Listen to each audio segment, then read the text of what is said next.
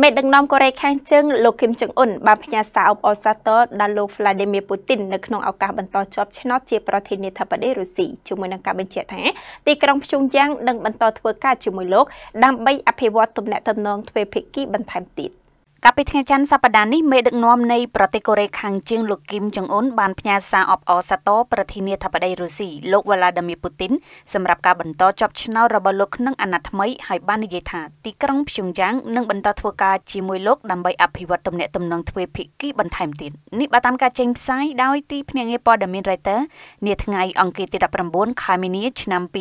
2024ក្នុងសារអបអរសាទរនោះលោកគីមបាននិយាយដូចនេះថាខ្ញុំនឹងសហការយ៉ាងពេញទំហឹងជាមួយអ្នកខណៈពួកយើងត្រូវបំពេញតាមតម្រូវការនៃពេលវេលាដើម្បីផ្ដល់បរិបទថ្មីស្រឡាំងមួយសម្រាប់មិត្តភាពរុស្ស៊ីកូរ៉េខាងជើងដែលមានឫសគល់ប្រវត្តិសាស្ត្រនិងប្រពៃណីយូរអង្វែងមកហើយនិងដើម្បីពុះពៀបោះជំហានទៅមុខក្នុងការកសាងប្រទេសជាតិរឹងមាំមួយ។ លោកពូទីនទៅតែបានទទួលជ័យជំនះក្នុងលទ្ធផលយ៉ាងភ្លុកទឹកភ្លុកដីបំផុតក្រោយការបោះឆ្នោតប្រធានាធិបតីរុស្ស៊ីអាណត្តិថ្មីដែលបានប្រព្រឹត្តទៅកាលពីថ្ងៃទី17ខែមីនាក៏បញ្ជាក់ថាលោកពូទីនបានឡើងកាន់អំណាចដំបូងកាលពីចុងឆ្នាំ